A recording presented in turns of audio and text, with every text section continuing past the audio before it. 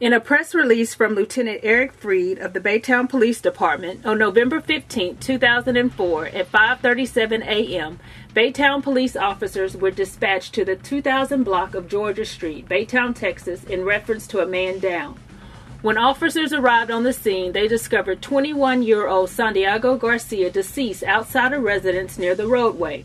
It was found through investigation Garcia had received multiple gunshot wounds causing his death. After all investigative leads were concluded, the case went cold. However, the case was reopened for review in 2011. It was learned that Arturo Chavez, a subject in the investigation, was being investigated by the FBI and ATF for weapons violations. Baytown detectives began working with the FBI, ATF, and Houston Police Department Criminal Investigations Division to resolve this case. Witnesses were re interviewed and a new subject emerged Daniel Torres. Torres confessed to his involvement in the murder of Garcia. An exhaustive investigation led by the Baytown Police Department and assisted by members of the Federal Bureau of Investigations, Bureau of Alcohol, Tobacco, Firearms, and Explosives, and the Houston Police Department, three subjects were arrested in the murder of Garcia. The three subjects were charged with murder in the 338th Criminal District Court, Harris County, Texas, as follows Arturo Chavez Jr., 32 years of age, Hispanic male.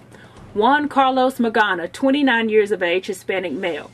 Daniel Torres Jr., 31 years of age, Hispanic male.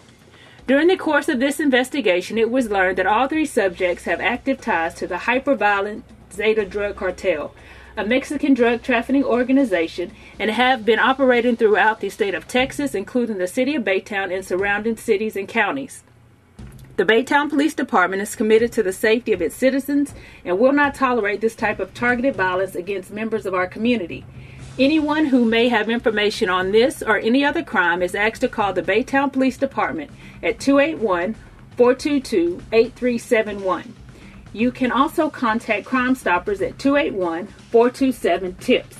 Submit anonymous tips online at the Baytown Police Department website at www.baytown.org or text keyword Baytown plus your tip to 274637. Remember, Crime Stoppers pays cash and you will remain anonymous. Also, if you're watching this from the BaytownCops.com homepage, scroll to the bottom and you will see the category entitled Text a Tip.